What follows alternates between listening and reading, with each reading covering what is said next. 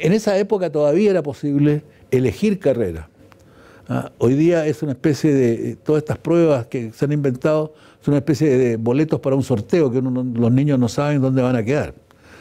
Eh, ¿dónde, ¿Dónde podía ir? Yo soy de aquellos que terminé en los ramos humanísticos porque era malo para las matemáticas. Ese era ya el primer factor que me, que me llevó.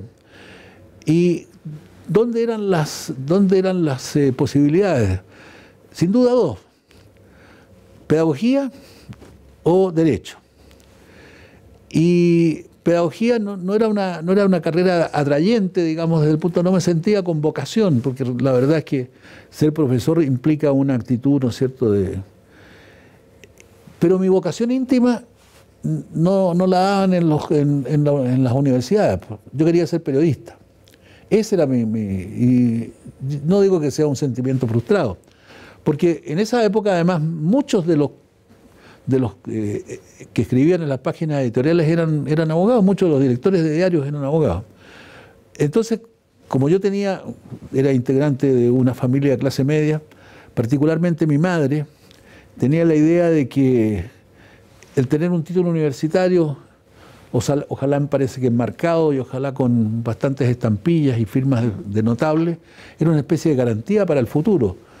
Y ella se murió convencida de eso, pero la verdad es que era una apreciación errónea, pero a mí me correspondió satisfacer, fui el primero de, nuestros cuatro, de mis cuatro hermanos que cumplí con esa, con esa obligación. Ella ah, en una salita de, nuestra casa, de la casa paternal, tenía los cuatro títulos ahí marcados. Eh, tenía que buscar eso y, la perspectiva de era, la de derecho. Ahora yo diría que yo miro la vida, he mirado la vida y hasta ahora desde el lado más simpático. Eh, entonces siempre, siempre saco conclusiones. Esta no es mía, esta es de un, de un institutano, un gran escritor, Varas Morel, José Miguel Varas Morel. Y, José Miguel cuando salió del instituto, él era un poquito mayor que yo, eh, y se definió por estudiar derecho, dio prácticamente las mismas conclusiones que me llevaron a mí a estudiar derecho. Aparte de esta de carácter familiar, de este compromiso de, darles la satisfacción a mi madre. Eh, primero, la, la, facultad quedaba cerca de la casa. Segundo, había clases solo en la mañana. Y tercero, uno podía capear clases todo lo que, lo, que pudiera y, pasear por el parque forestal que quedaba al lado, lo cual era bastante entretenido. Ahí se definió mi, vocación jurídica y no estoy en absoluto arrepentido. Fui un alumno, ya ahí me había corregido ya, ya los últimos años de humanidad.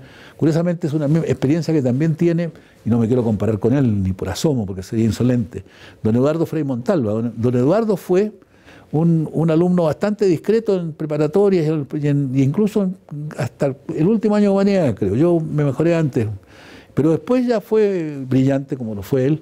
Yo no, fui brillante, pero sí fue, fui discreto, fui uno de los mejores alumnos de mi generación, no el mejor, pero... Y esa fue mi experiencia. Pero me habría sido muy grato, pero no, existía facultad. la facultad, la primera que se creó fue por ahí por el año 54, en el, dependiente del Instituto, de la Facultad de, Pedagogía y Educación de la Chile. Se crea la Escuela de Periodismo, el primer director fue Ramón Cortés. Ramón Cortés Ponce fue un gran director de la Nación.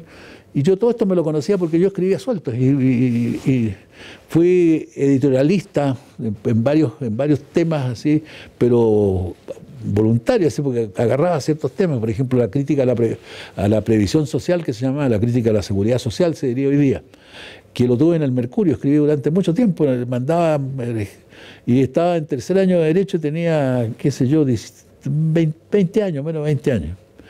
Y así seguido, y eso, eso no ha sido mi profesión, pero ha sido mi satisfacción. ¿Le gusta escribir entonces? Me gusta escribir. No digo que sea un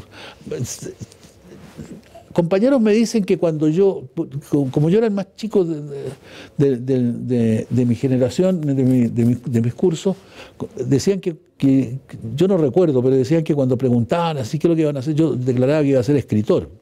No, no, no creo que haya tenido tanta pretensión, pero que me, gustaba leer y la lectura es una gran invitación a, escribir. bueno, como la, yo por lo menos en esa época, no sé ahora, este, yo trabajé de poeta también durante un, durante un tiempo, escribía muy mal, pero, pero malos, malos. En, en cuentos trabajé mejor, novela no intenté nada, y el periodismo en comentarios, Las crónicas. eso sí, las crónicas, eso he escrito mucho.